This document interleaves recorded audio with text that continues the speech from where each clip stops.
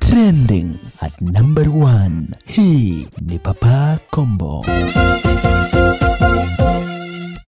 Taarifa za kufariki kwa aliyekuwa waziri wa elimu Profesa George Magoha zinazidi kuzua simanzi miongoni mwa watu wengi nchini. Je, unatambua kuwa hata kabla ya kifo cha profesa, familia ya Magoha ilikuwa imewapoteza wana ndugu wawili mfululizo? Mambo vipi, shabik number one wa Papa Kombo? Tunajivunia hatua yako kuzidi kutuweka mbele kama kituo chako cha habari na burudani. Ikiwa ndo mara yako ya kwanza kutufikia karibu nyumbani, na itakuwa bora zaidi utakapo subscribe, na hapo utakuwa umeingia ndani ya himaya ya wakuu. Hii Jumanne ya tarehe 25 Januari mwaka huu wa 2023 taifa liligubikwa na tanzia iliyohusisha kifo cha aliyekuwa waziri wa elimu Profesa George magoa magoa alifariki alipokimbizwa kwenye hospitali kuu ya Nairobi baada ya kupata mshtuko wa moyo akiwa nyumbani mwake.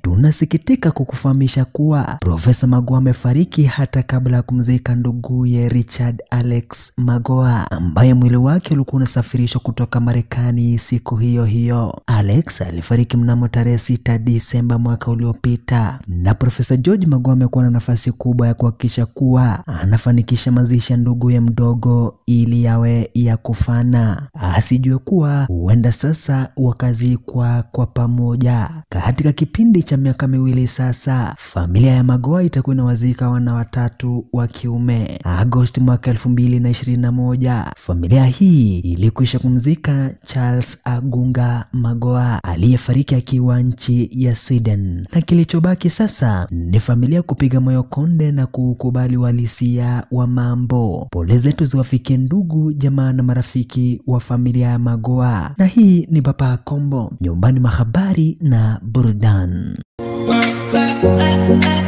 Katika habari, udaku na burudani, Papa Kombo, hapa ndipo